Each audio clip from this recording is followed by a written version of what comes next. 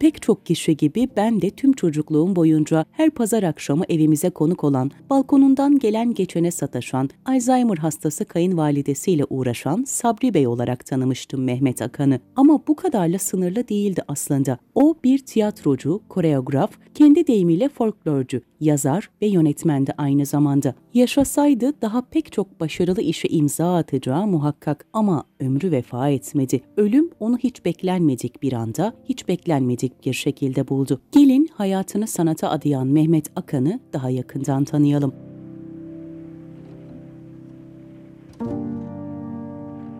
Mehmet Akan 5 Aralık 1939'da Şanlıurfa Birecik'te doğdu. Haydarpaşa Lisesi'ni bitirdi. İstanbul Teknik Üniversitesi Makine Mühendisliği bölümünü 4. sınıfta bıraktı. 1959'da üniversitede çalışmalarını takdirle yakından takip ettiği Genç Oyuncular Topluluğu'na katıldı. Genç Oyuncular Topluluğu'yla tanışmasını şöyle anlatmıştı. Çocukluğumdan beri tiyatroya meraklıydım. Ailemin bazı üyeleri benim tiyatrocu olmamı istememişlerdi. Hala da yadırgarlar. Babam ölene kadar profesyonel olduğum halde 3-4 sene tiyatrocu olduğumu saklamışımdır. İstanbul Teknik Üniversitesi Sanat Bölümünde tiyatroya başladım. O sırada genç oyuncularla tanıştım. İlk oyunları olan Ayyar Hamza'yı görür görmez çarpıldım. Ergün Köknar'ı buldum ve beni de aralarına almalarını söyledim.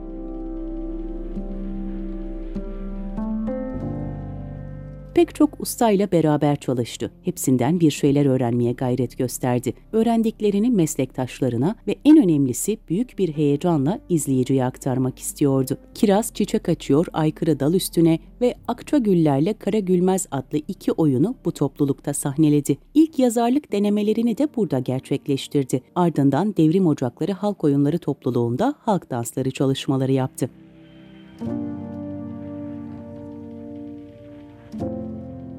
Gülriz Sururi Engin Cezzar Tiyatrosu'nda 1962'de profesyonel olarak tiyatro oyunculuğuna başladı. 4 yılda Aklın Oyunu, Otello, Midas'ın Kulakları, Ferhat ile ve Keşanlı Ali Destanı'nın da aralarında yer aldığı çeşitli oyunlarda rol aldı. İlk yönetmenliğini de burada yapan sanatçının yönettiği ilk oyun Haldun Taner'in Zilli Zarifesi'ydi. Sonrasında geçtiği Ulvi Uras Tiyatrosu'nda rol aldığı eserlerin yanı sıra kaleme aldığı orta oyunu uyarlaması Hamhum Şalalop'u 1968'de sahneye koydu. Ertesi sene 1969'da beş arkadaşıyla birlikte genç oyuncuların devamı sayılabilecek Dostlar Tiyatrosu'nu kurdu. Grubun amacı geleneksel tekniklerden yararlanarak çağdaş bir tiyatro tarzına ulaşmak ama bununla da kalmayıp politik tiyatro yapmaktı. Ekip üyeleri profesyonel yaşamlarında da amatörlüğü hep önemsemiş ve genç oyuncular gibi adı işçi kolu olan bir grup teşkil etmişlerdi. İşçi kolundaki öğrencilerin yazdığı Alpagut Olayı adlı oyun Dostlar Tiyatrosu'nda taşındı ve sadece işçilere ücretsiz olarak oynandı. Burada oyunculuk, yönetmenlik ve koreograflık yaptı. Burada Abdülcan Baz, Düşmanlar, Gün Dönerken, Şili'de Av, Yaz isimli oyunlarla başarılı işlere imza attı.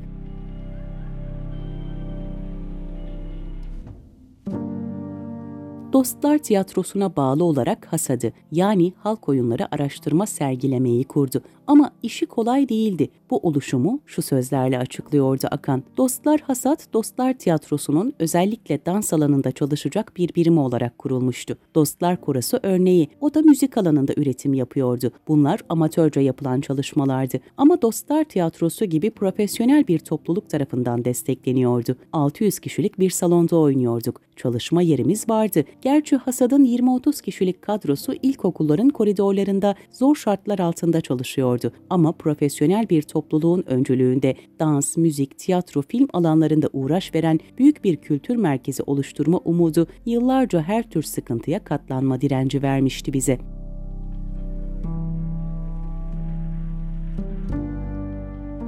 Bununla da kalmamıştı. Genç oyuncular kendini kurtaramaz hale gelince amatör birimleri de çıkmaza girmişti. Ama onlar hiç pes etmediler. Koreografiyle uğraşan Mehmet Akan, Keşanlı Ali Destanı'nın koreografisini düzenlemişti. Hasat'la Türk halk danslarından yola çıkarak çağdaş bir dans yaratma yolunda önemli adımlar atmayı hedefliyordu. Bu toplulukta tanıştığı dansçı Alev Akçin'le evlendi. Çiftin 1981 yılında bir kızı oldu. Yazdığı Hikaye-i Mahmut Bedrettin oyunu Ankara Sanat Tiyatrosu'nda ve İstanbul Devlet Tiyatroları'nda sahnelendi. Bu oyunla 1982 Ulvi Uraz ödüllerinde en iyi yönetmen ödülünü kazandı. Ankara Sanatseverler Derneği'nden en iyi yönetmen ödülünü ve İsmet Küntay oyun ödülünü de aldı.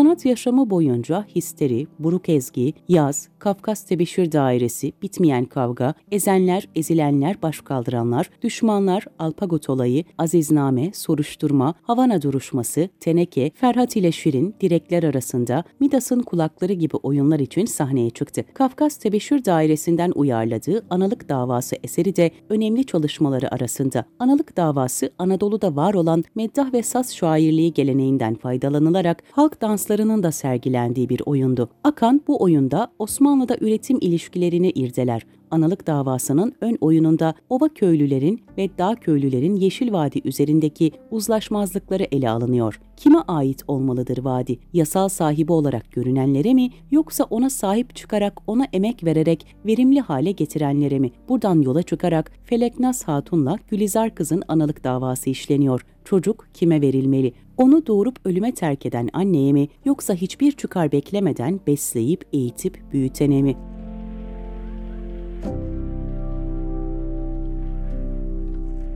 Yeteneği ve çalışkanlığıyla beğeni toplayan Akan, sinemaya 1986 yapımı Ah Belinda filmiyle başladı. Bu yapımdaki performansıyla da dikkat çeken sanatçı peş peşe yapımlarda rol aldı. 1986'dan 1988'e kadar Asiye Nasıl Kurtulur, Teyzem, Bez Bebek, Elif Ana Ayşe Kız, Gramofon Avrat, Kadının Adı Yok, Keşanlı Ali Destanı, melodram, yansıma gibi yapımlarla karşımıza çıktı. En büyük tanınırlığını ise Bizimkiler dizisiyle yaşadı. Hayatı boyunca çok sayıda dizi ve sinema filminde yer alan sanatçı, 1989-2002 arasında yayımlanan Bizimkiler dizisinde canlandırdığı karakterle unutulmazlar arasına girdi. Dizide Akan apartman yöneticisi Sabri Bey rolünü üstlenmişti. Dizi sektörü hakkındaki düşünceleri ise çelişkiliydi. Bu konuda çok da haklıydı. Akan, Adem Dursun Berlin röportajında şunları söylemişti gelmişti. Televizyon gerçekten sürünen tiyatro oyuncularına ekmek kapısı oldu. Tabii ki bir çelişki olarak da Türk tiyatrosuna çok zararlı oldu.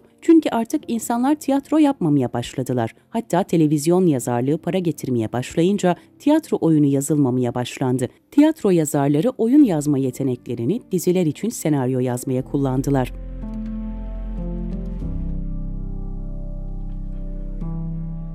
Bizimkiler televizyon tarihinin en önemli yapımlarından biri oldu. Tüm Türkiye'yi ekran başına kitleyen dizide Ercan Yazgan, Güzin Özyağcılar, Cihat Tamer, Ayşe Kökçü, Rutka Yaziz, Aykut Oray, Erdal Özyağcılar, Buket Dereoğlu, Ali Uyandıran, Mine Teber, Selçuk Uluergüven, Meral Çetinkaya, Salih Kalyon, Güler Ökten gibi pek çok sanatçı rol alıyordu. Oyuncu kadrosuna bakıldığı zaman bu kadar usta ismi bir araya getirmek imkansızdı ama Umur Bugay bunu başarmıştı.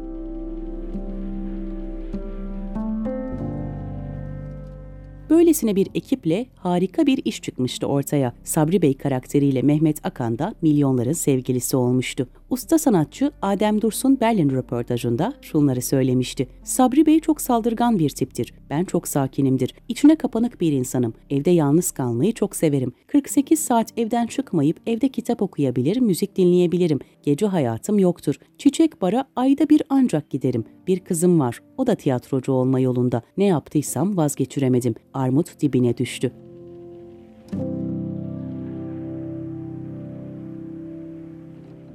Bizimkiler dışında bambaşka yapımlarla da karşımıza çıkıyordu. Cahide, tiyatro belgeseli, Kurt Kanunu, Yazlıkçılar, Oğlum Adam Olacak, Duruşma, Tatlı Hayat, Gönderilmemiş Mektuplar, Yeter Anne, Yıldızların Altında, Bir İstanbul Masalı gibi yapımlar için kamera karşısına geçti. 2004 yılında yayınlanan Büyük Umutlar adlı dizide oynadı. En son Aşk Oyunu dizisinde Yasemin Ergenen'in babasına hayat verdi.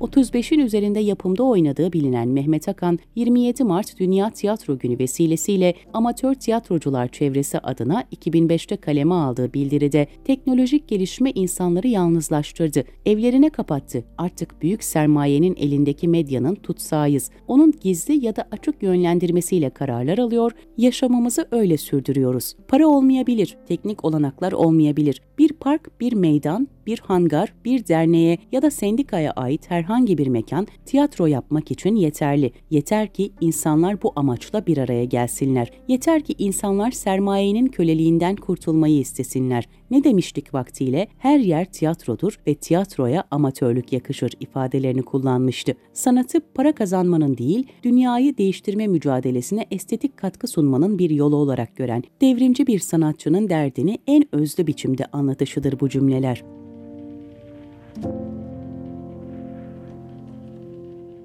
Usta sanatçı 2006 yılında aramızdan ayrıldı. Üstelik tiyatro çalışmalarına devam ediyordu. Dostlar Tiyatrosu'nda Oyun Sonu adlı oyunun provalarındayken ameliyat olmak zorunda kaldı. Karın bölgesinde bir kitle olduğu anlaşılmıştı. Ok Meydanı Eğitim Hastanesi'ne kaldırıldı. Hastanede kitlenin alınması amacıyla ameliyat edildi. Herkes bunun kolayca atlatılabilecek bir durum olduğunu sanıyordu. Ama öyle olmadı. Ameliyatın ardından oluşan kanama durdurulamayınca yoğun bakıma alındı. Sevenleri, ailesi, oyuncu dostları hastanede iyi bir haber bekliyordu. Durumunun ciddi olduğu biliniyordu belki ama iyileşeceği umuluyordu. Yaşam Destek Ünitesi'ne bağlanan Akan 8 Temmuz 2006'da yaşama veda etti.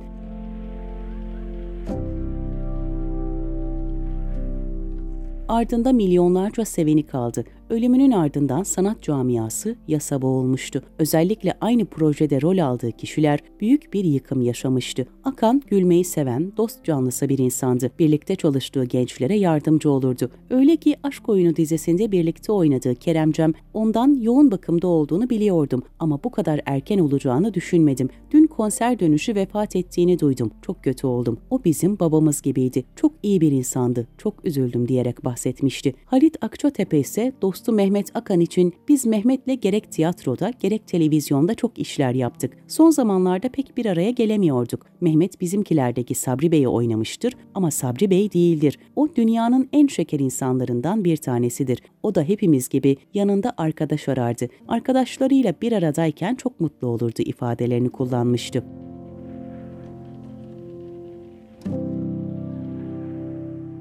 Tiyatro sanatçısı Mehmet Akan için Atatürk Kültür Merkezi Taksim sahnesinde tören düzenlendi. Türk bayrağına sarılı naaşının sahneye konulmasının ardından ailesi ve sevenleri saygı geçişi yaptı. Törende daha sonra sanatçının hayat hikayesi okundu. Törende konuşan Mehmet Akan'ın 50 yıllık arkadaşı sanatçı Arif Erkin, Akan'la hep birlikte olduklarını dile getirerek sanki benim yarım gibiydi. Yaptığım her işe karıştı. Şimdi yarım gitti sanki. Nur içinde yatsın dedi. Tiyatro sanatçısı Genco Erkal da Dostlar Tiyatrosu'nu Akan'la birlikte kurduklarını ve 46 yıllık dostluklarının bulunduğunu belirterek Akan dostluğun ötesinde hayran olduğum bir insandı. Hem yazar hem uyarlamacı, koreograf, yönetmen ve oyuncuydu. Her alanda başarılara imza atmıştı diye konuştu. Buradaki törene Akan'ın eşi Alev Akan ve Umur Bugay, Rutka Yaziz, Şemsi İnkaya, Aykut Oray'ın da aralarında bulunduğu çok sayıda tiyatro sanatçısı ve sevenleri katıldı. Daha sonra sanatçının omuzları alınan naaşı alkışlar arasında cenaze aracına konuldu. Cenaze namazının kılınacağı Şişli Camii'ne götürüldü. Burada kılınan öğle namazının ardından Akan Zincirlikuyu mezarlığında toprağa verildi. Sanatçının adı doğum yeri olan Birecik'te bir caddeye ve kültür merkezine verildi. Mehmet Akan Kültür Merkezi Birecik'te her yıl çeşitli kültürel organizasyonlara ev sahipliği yapmaktadır.